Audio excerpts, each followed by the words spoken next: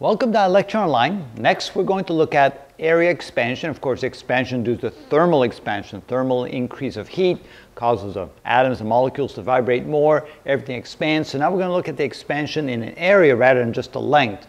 So let's say that this was our original area. We heat up that plate. Let's say it's a plate, a thin plate.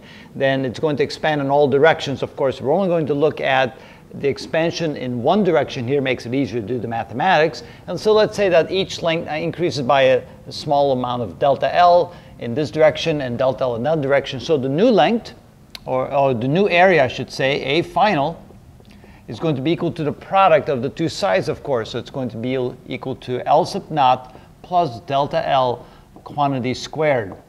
If we now go ahead and square that quantity, it's a binomial. So this is the first term squared plus twice the product of the two, 2L sub naught delta L, times the last term squared, so plus uh, delta L squared.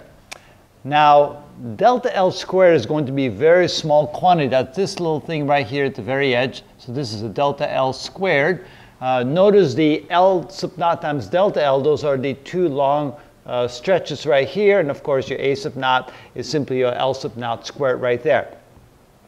Now, Turns out that the delta L is so small we can probably just ignore it. So we're just going to assume that this is approximately equal to zero. And so we can just ignore it, which means that the final area is simply going to be equal to L sub naught squared plus 2 L sub naught delta L. now this L sub naught squared, of course, that's the original area. So we can say that A final is equal to the original area plus 2 L sub naught delta L.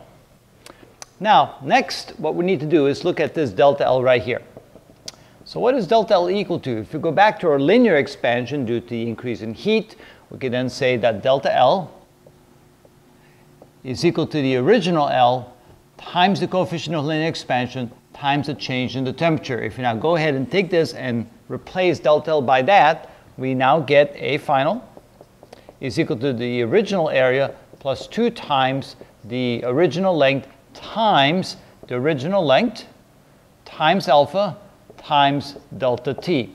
Now here we have L sub naught times L sub naught, which is L sub naught squared, and just like what we had before here, we can replace this by the original area right here. So we have A final is equal to the original area plus 2 times the original area times the coefficient of linear expansion times delta t.